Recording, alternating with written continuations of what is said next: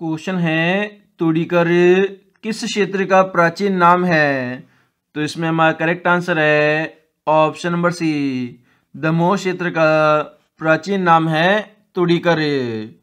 Next number राज्य में बेटी बचाओ दिवस कब मनाया जाता है?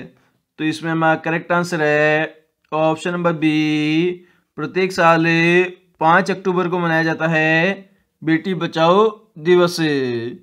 नेक्स्ट हमारा, मध्य प्रदेश का कौन सा स्थानों को यूनेस्को की विश्व विरासत में शामिल नहीं है? तो इसमें हमारा करेक्ट आंसर है ऑप्शन नंबर सी पर्यटक नगरी पंचमढ़ी को शामिल नहीं किया गया है। यूनेस्को ने विश्व विरासत में, इसके अलावा खजुराहो के मंदिर, सांची के बौद्ध स्तूप और भीम बेटका के शेल चित्र एवं शिलाश्रय, इन सभी को शामिल किया गया है। नेक्स्ट हमारा, नर्मदा नदी की लंबाई कितनी है?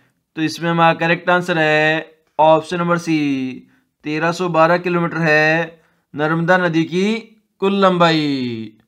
नेक्स्ट हमारा, मध्य प्रदेश में डीएनए प्रयोगशाला कहाँ स्थापित की गई है?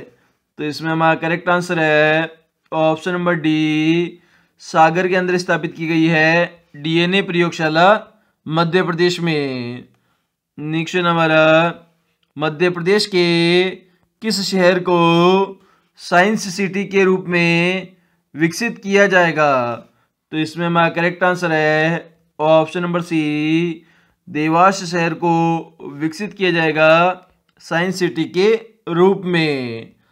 नेक्स्ट हमारा, झाबुआ के संबंध में कौन सा कथन असत्य है?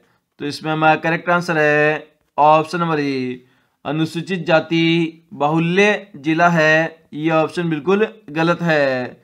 इसके अलावा भील जाति पाई जाती है, बिल्कुल सही है। मेघनगर औद्योगिक केंद्र है, बिल्कुल सही है। सी ऑप्शन है, आदिवासी शोध संचार केंद्र है तो ये ऑप्शन भी सही है। नेक्स्ट हमारा, मध्य प्रदेश का पहला फ़ूड एरोडिएशन प्लांट की स्थापना कहाँ की गई है?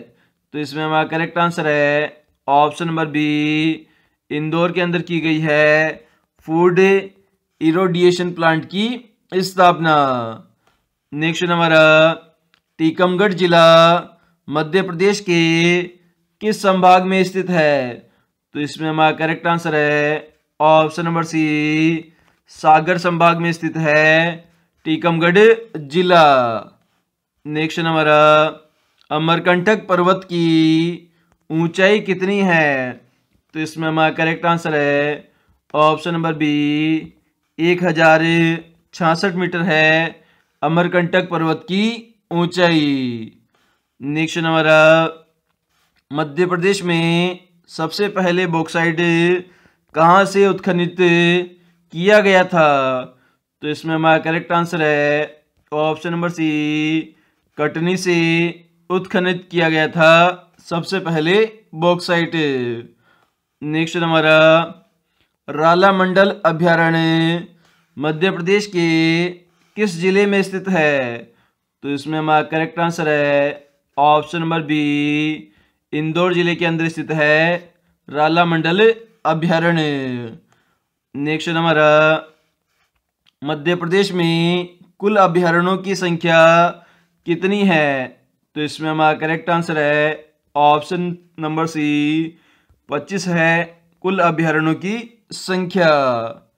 नेक्स्ट नंबर, टोंस नदी का उद्गम जिला कौन सा है? तो इसमें हमारा करेक्ट आंसर है ऑप्शन नंबर बी सतना जिला है, जो कि टोंस नदी का उद्गम जिला है। नेक्स्ट हमारा बड़वानी जिला, कौन सी नदी के तट पर बसा हुआ है? तो इसमें हमारा करेक्ट आंसर है ऑप्शन नंबर सी नर्मदा नदी के तट पर बसा हुआ है बड़वानी जिला।